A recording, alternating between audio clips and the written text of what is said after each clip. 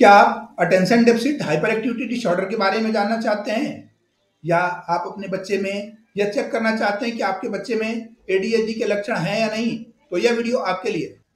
नमस्कार दोस्तों, मैं डॉक्टर डी के राय। आज हम बात करेंगे कि attention deficit hyperactivity disorder क्या होता है, इसके लक्षण क्या हैं, इसको हम पहचानते कैसे हैं और इसका इलाज कैसे किया जाता है।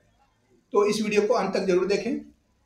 सबसे पहले हम बात करेंगे कि attention deficit hyperactivity disorder होता क्या है। यह एक न्यूरो डेवलपमेंटल डिसऑर्डर है, जो लाइफ लॉन्ग परसिस्ट करता है, यानी पूरे जीवन रहता है, और यह बच्चों में भी हो सकता है और बड़ों में भी होता है।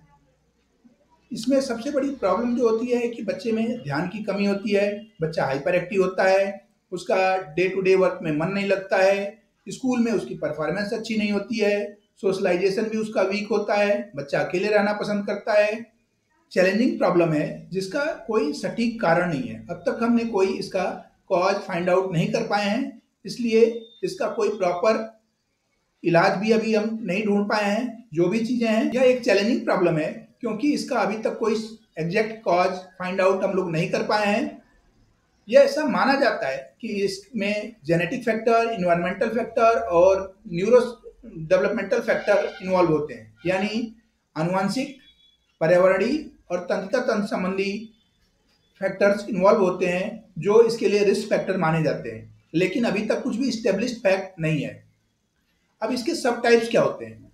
एडीएचडी के तीन सब टाइप्स होते हैं। पहला है प्रीडामिनेंटली इनअटेंटिव प्रेजेंटेशन और एडीएचडी वन इसमें बच्चे को फोकस करने में प्रॉब्लम होती है, कार्यों को व्यवस्थित रखने में, चीज़ों को ऑर्गनाइज वे में रखने में दिक्कत होती है, अपने असाइनमेंट को पूरा करने में चैलेंजेस फेस करता है बच्चा। और आसानी से डिस्ट्रैक्ट हो जाता है, चीज़ें भूल जाता है मतलब बुक रख करके भूल जाता है, चाबी रख करके भूल जाता है, उसको ढूंढ नहीं पाता है और कमांड को फॉलो नहीं कर पाता है।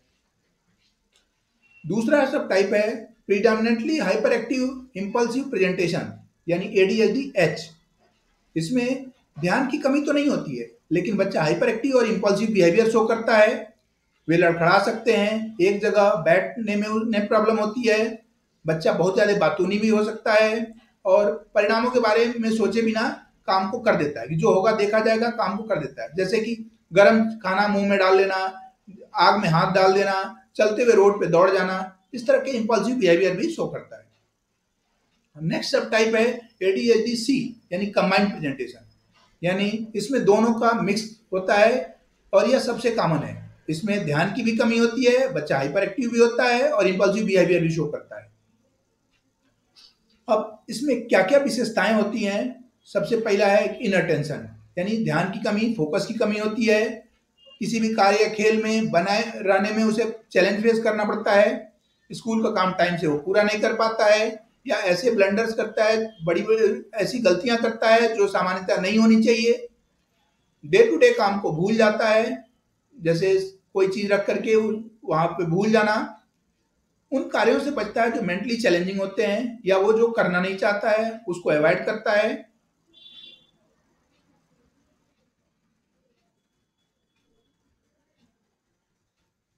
अगला है हाइपर एक्टिविटी बच्चा एक जगह टिक करके नहीं बैठता है, हाथ पैर हिलाता रहता है, दौड़ता भागता रहेगा, कहीं भी शांत रख करके नहीं बैठता है, सोफे पे कूदने लगेगा, टेबल पे चढ़ जाएगा चुपचाप रहने वाली गतिविधियों में शामिल होने में उसको प्रॉब्लम होती है।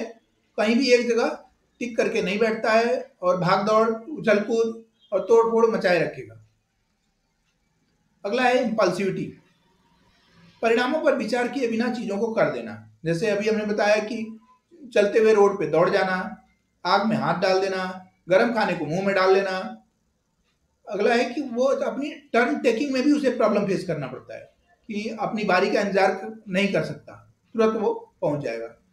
और साथ ही बातचीत या गतिविधि के दौरान दूसरे को इंटरप्ट कर देगा। भाई कोई बोल रहा है बीच में ही बोल पड़ेगा। अब इसका हम पहचान कैसे करते हैं डायग्नोसिस कर, कैसे करते हैं और इसका ट्रीटमेंट क्या है? इसके लिए डिटेल इवेल्युएशन की ज़रूरत होती है। इसमें इंटरव्यू लिया जाता है बच्चे को देखा जाता है। माता पिता से बात की जाती है, शिक्षक से बात किया जाता है और जो केयर टेकर्स हैं, उनसे बात की जाती है ताकि प्रॉपर डायग्नोसिस बनाया जा सके। और लेकिन इसका कोई डिफिनिट टेस्ट नहीं है। अब इसका ट्रीटमेंट कैसे करते हैं? इसके लिए मल्टी मॉडल अप्रोच अपनाते हैं, जिसमें पहला है व्यवहार थेरेपी व्यवहार थेरेपी में साइको एजुकेशन री strategy and cognitive behaviour strategy तीनों का कॉम्बिनेशन यूज़ करते हैं। और दूसरा है मेडिकेशन इसमें उत्तेजक दवाएँ और गैर उत्तेजक दवाएँ दोनों देना दे, दिया जाता है। लेकिन जो सबसे बेहतर है वो दोनों का कॉम्बिनेशन यानी मेडिसिन भी दिया जाता है और बिहेवियर थेरेपी भी दी जाती है। क्योंकि कई बार माता पिता कहते हैं कि हमारे बच्चे को ऑटिज्म है या एडीएचडी है हम कोई दवा नहीं देंगे। लेकिन एडीएचडी के केस में ऐसा नहीं है। आपको एटलीस्ट मेडिसिन देनी पड़ेगी। अगर बच्चा हाइपर एक्टिव है तो ज़रूरत के हिसाब से मेडिसिन और उसके साथ बिहेवियर थेरेपी दीजिए तो आपको बेहतर रिज़ल्ट मिलेगा इंस्पाइट ऑफ़ इसके कि केवल बिहेवियर थेरेपी दें।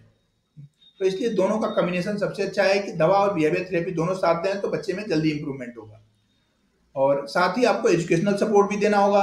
इसके लिए रेजिडेंशियल स्कूल्स आप ऑप्ट कर सकते हैं, जहाँ पे इंडिविजुअलाइज एजुकेशन प्लान भी मिलेगा और क्लास भी बच्चे की नीड के हिसाब से कस्टमाइज होगा।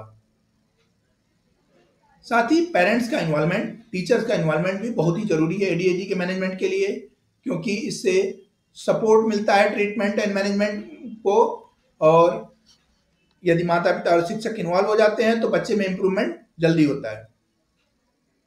ये एक लाइफ लॉन्ग चैलेंज है, इसलिए इसका उपचार और सपोर्ट अगर हम प्रॉपर करें तो बच्चे अपना मैक्सिमम पोटेंशियल को अचीव कर पाएगा।